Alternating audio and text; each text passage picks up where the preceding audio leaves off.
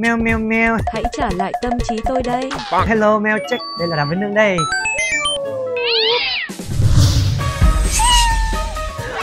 Trời ơi, hình như là cả thế giới biết bọn này nó chưa biết thôi. 2 tháng 10, 1971 Tính ngày âm là ngày sáng sớm ngày 15 của Trung Thu. Nên nó sáng không?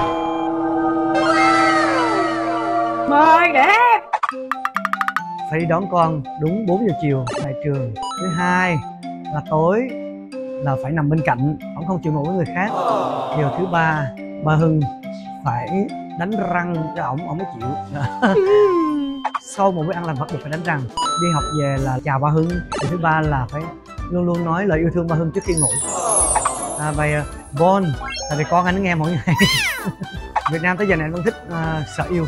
Sợ lắm khi yêu một ai quá nhiều mình chẳng nhận ra những điều mà đôi khi con tim quá yêu nên làm mờ đi lý trí à, sự Gen Z. À, Gen Z thì có Sơn Tùng rồi Gen Z đúng không? Không anh ơi, Tùng hơi già ác độc Sơn Tùng của anh mà Gen Z dạ, dạ. Thật sự chỉ thích Sơn Tùng à Tháng 6 trời mưa.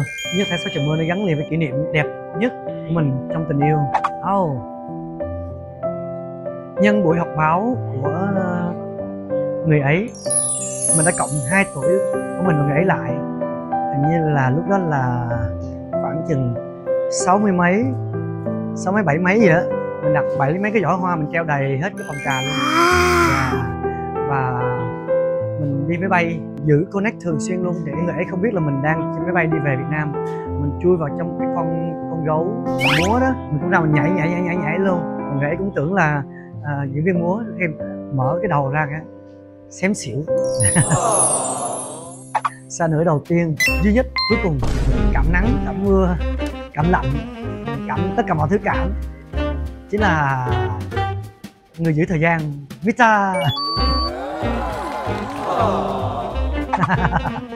à, anh nghĩ rằng là cô là sẽ thích hai cô nhưng mà để mà bị tiêm nhiễm vô đầu nhiều á chắc là cô mỹ tâm quá.